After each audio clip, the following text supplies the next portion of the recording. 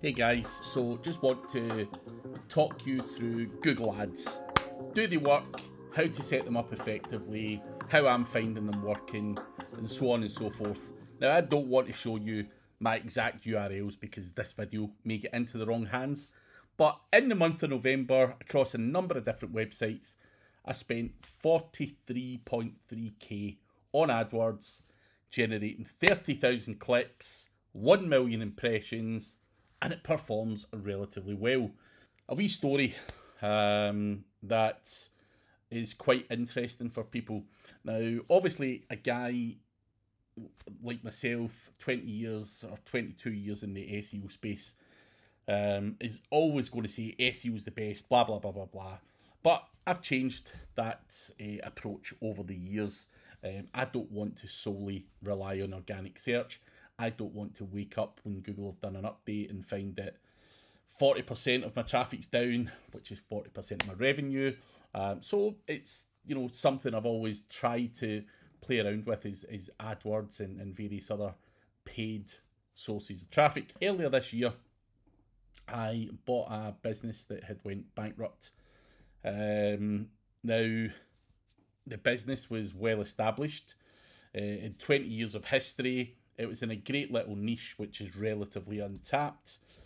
And the person who previously owned it just didn't understand the online game, online marketing, and were hemorrhaging money. Um, so I had a look at it and thought, this is something I can do.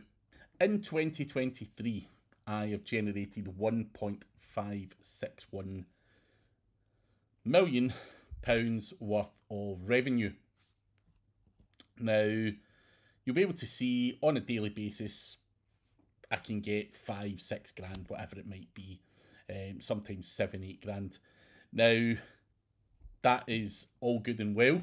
Um, I am doing paid ads on this now, both Facebook, and I will go into paid social media in another section, and Google AdWords. So in this niche, there's a massive ROI on paid ads. That's one of my campaigns there. I want to spend a thousand pounds a day on Google AdWords, and I try my best to do that using different campaigns. Now, on a regular basis, I'm spending six, seven hundred pounds, whatever it may add up to um, it's working well. 450 clicks. I'm getting 61 conversions. Everything's going well. The website's a pile of shit, first and foremost. It's uh, built on Ruby and the Rails. I think it was built 15 years ago or so. Um, so trying to do SEO on it and stuff like that, you know, I, have not got to that level yet. Something I'm considering going into 2024. Uh, but I'm not buying an asset and not doing any work on it just now. So I've been able to grow and scale it using paid ads. And as long as there's that return on investment, you don't need to just rely on organic search. Now, my total revenue for October on that particular website was 148,000. My total spend on AdWords for that website was 18 grand. So you can see of course, it's a drop shipping business.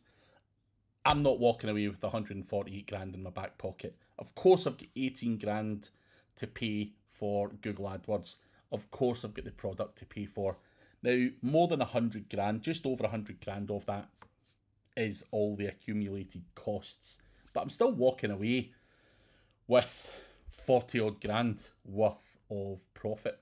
Um, so, taking a business from literally zero to that, uh, just using paid ads, you can do the math. Websites sell for between 35 and 50 times their monthly profit. Um, so you can see there, I've got an asset that is worth a lot of money, and I've used paid ads to do that. And obviously, I do this to diversify my income streams. So, throughout this section, I'm going to show you how I've set up my ads, I'm not going to show you the live ad campaign just for obvious reasons. I'm sure you'll understand as much as I'd love to share with 99% of you. There's always that one person. Um, anyway, I'm going to show you what I do, how I set it up. If you've never done an ad campaign, then I'll, I'll go through the basics as well. So that is all in this section. Hopefully you enjoy it.